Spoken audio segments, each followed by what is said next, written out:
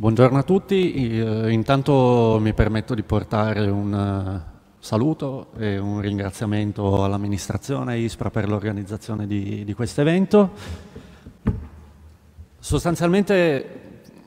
ormai è un po' di tempo che si parla, per fortuna anche a livello mediatico, di consumo di suolo, di consumo di suolo connesso alla pianificazione e in parte anche di strumenti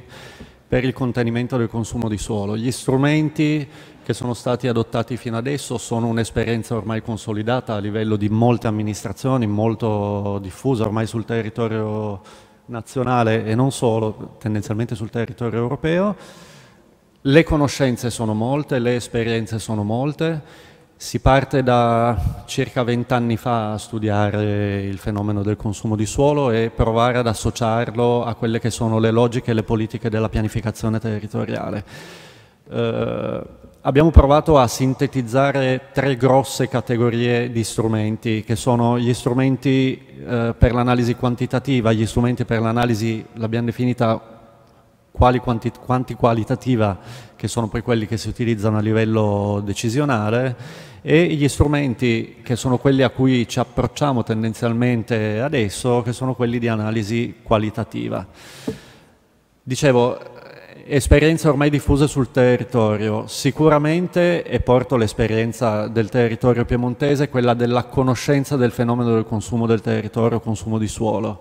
Sono vent'anni che si studia questo tipo di fenomeno, si prova a incrociarlo con dati statistici di popolazione, con eh, tipologia del suolo eh, consumato. Sono tendenzialmente dei dati quantitativi che eh, ci danno la possibilità di capire quanto e dove si è consumato fino ad oggi. Per fare un esempio, città metropolitana sono 315 comuni, quasi 7.000 km quadrati, eh, di cui almeno poco più della metà di territorio montano, quindi poco attivo, poco dinamico dal punto di vista del, dell'espansione urbana. Eh, fino a 5-6 anni fa si consumavano oltre 1000 ettari all'anno di suolo, si sono toccati dei tassi medi, medi annui di incremento dell'1,5%, 7-8 anni fa, che adesso si sono ridotti a poco più dell'1% ma soprattutto il dato preoccupante è quello che noi definiamo il suolo prenotato, cioè quello che oggi è previsto dai piani regolatori vigenti e non è ancora stato attuato, che tendenzialmente aumenterebbe di poco più del 10% il consumo di suolo nei prossimi 5 anni. Strumenti quali quantitativi? Eh, anche questa è un'esperienza sicuramente del territorio piemontese, ma eh, anche in questo caso abbastanza diffusa sul territorio nazionale, quella delle politiche per il contenimento del consumo di suolo. Gli strumenti di pianificazione territoriale, sia il piano territoriale regionale che eh, la revisione del piano territoriale di coordinamento provinciale, hanno attuato, hanno messo a punto una normativa specifica finalizzata a contenere il consumo di suolo. Città metropolitana oggi lo fa definendo eh, anche dal punto di vista geografico, quindi cartografando quelle che definiamo le aree libere, che sono quelle su cui assolutamente è possibile intervenire con eh, attività di espansione urbana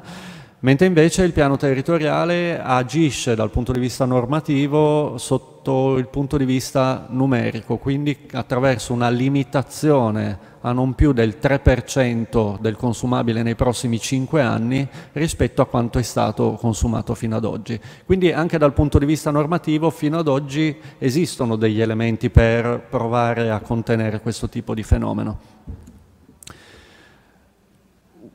Sulla base di queste conoscenze, quello che abbiamo cercato di mettere in piedi nel momento in cui abbiamo scritto questo progetto SAM 4CP del, del programma LIFE era provare ad affrontare un, il discorso del consumo di suolo da un punto di vista che fino ad oggi non era ancora stato preso in considerazione, cioè uscire da quella che potremmo definire, eh, forse De Rosa l'ha fatto prima, eh, la, la, mera logica commerciale dell'urbanistica, quindi la compravendita di terreni eh, per eh, il profitto a breve termine, chiamiamolo così, e provare a capire fo quale fosse, e provare a quantificare soprattutto,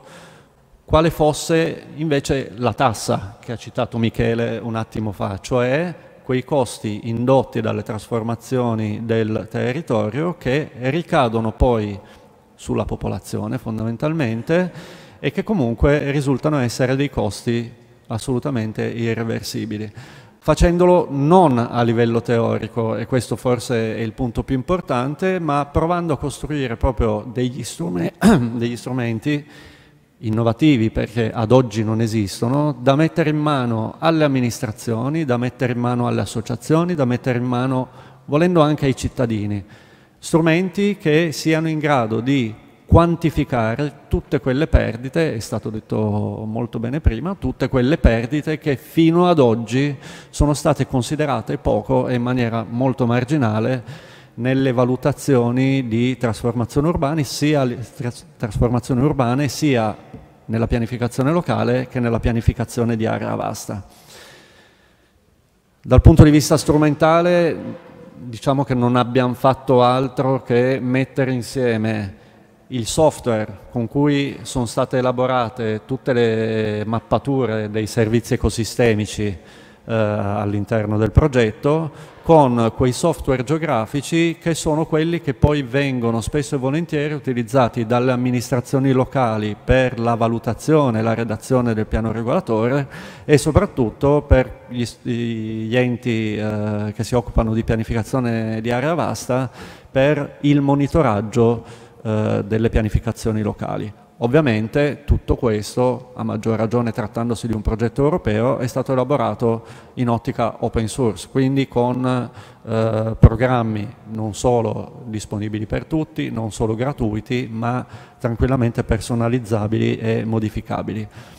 Eh, abbiamo parlato di simulatore, perché simulatore? Proprio perché lo strumento consente di simulare gli scenari a seguito dell'attuazione delle varianti previste dai piani regolatori. Quindi non solo valutare lo stato di fatto, quindi la situazione attuale a livello di servizi ecosistemici, sia in termini biofisici che in termini economici, ma anche a seconda della trasformazione indotta dall'attuazione della variante di PRG, capire quali possono essere gli effetti sullo scenario futuro.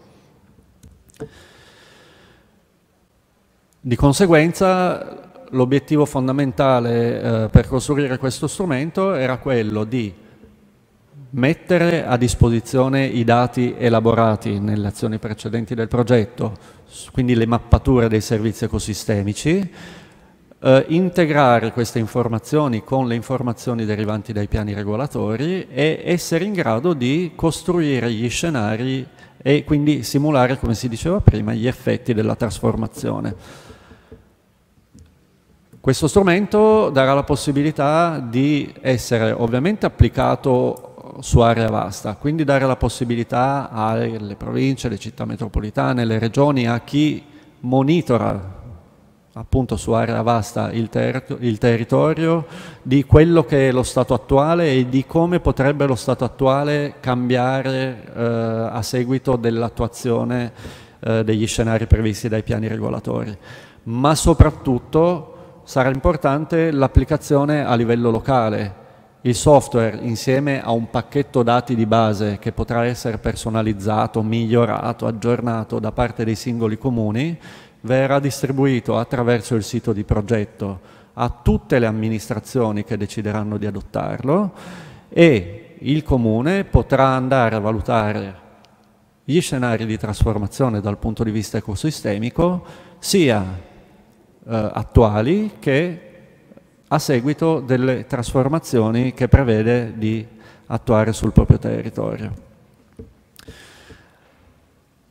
Abbiamo pensato di eh, generare questo tipo di strumento in due forme. Una forma che è quella che, eh, di cui vedete una snapshot in questa slide, che è una forma più divulgativa. Questa sarà a breve, molto a breve, disponibile direttamente sul sito di progetto eh, e consentirà non solo di interrogare la mappatura dei singoli sette servizi ecosistemici che abbiamo preso in considerazione, di valutarne il valore biofisico, ma anche di simulare attraverso quei i sei pulsanti più, più a destra, di simulare sei scenari di trasformazione, chiamiamoli basici, quindi di provare a vedere quali possono essere le trasformazioni indotte sul valore biofisico dei servizi ecosistemici e su quello economico, sulla base di appunto eh, sei scenari di trasformazione che sono trasformazione in urbano denso, semidenso, rado, parchi urbani, aree agricole o aree naturali. Quelli che vedete sulla parte di destra sono tutti i dati che vengono eh, calcolati da questo simulatore distribuito via web, quindi partendo dal basso il valore biofisico attuale è quello previsto, una rappresentazione grafica attraverso l'istogramma del valore attuale rispetto al valore di scenario, eh, quelle due lancette rappresentano invece un valore complessivo dei sette servizi, quindi dà un'idea di quella che può essere la perdita complessiva e un, eh, nel, nel riquadro grigio scuro un computo di quella che è la perdita in termini economici eh, per metro quadro. Quindi in questo caso con eh, la la simulazione che abbiamo fatto, si avrebbe una perdita indicativa di circa 40 centesimi a metro quadro per il tipo di intervento selezionato. Questo è più un giocattolo, diciamo, è più uno strumento per avvicinare tutti e sensibilizzare uh, a, al tema.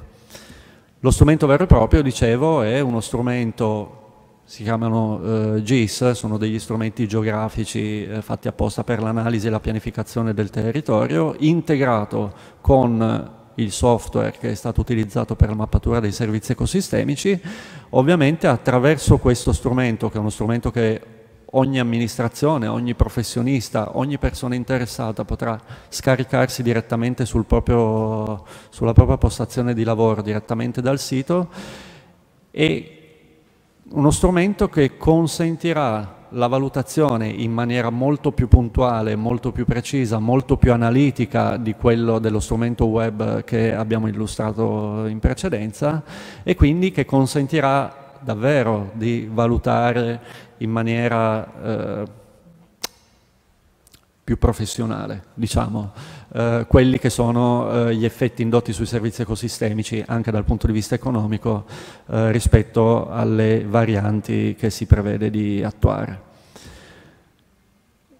Un ultimo accenno su una questione che è fondamentale ed è forse la più complicata da affrontare, che è quella dei dati eh, in termini di disponibilità di dati, in termini di aggiornamento di dati e in termini di accuratezza di dati. È ovvio che questi strumenti possono funzionare con qualsiasi tipo di dato gli si dia in pasto, però ovviamente maggiore è la precisione del dato che si gestisce attraverso questo tipo di simulatore e maggiore sarà la precisione del risultato. Altro problema che, eh, torno a, a, al punto di partenza, che riguarda il consumo di suolo, che riguarda i servizi ecosistemici, che riguarda molti degli oggetti di cui stiamo parlando, è quello dell'uniformità di linguaggio. Spesso e volentieri, già solo parlando di consumo di suolo, non intendiamo tutti la stessa cosa quindi eh, nel momento in cui si approccia a queste tematiche una delle prime avvertenze, una delle prime precauzioni che bisogna mettere in atto è proprio quella di capire che si stia parlando tutti la stessa lingua. Grazie.